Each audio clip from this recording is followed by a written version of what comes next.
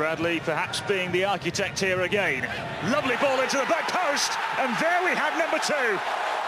A lovely delivery from Michael Bradley. It's a goal made in Major League Soccer. Bradley to Dempsey, Toronto to Seattle, and the United States lead by two goals to nil.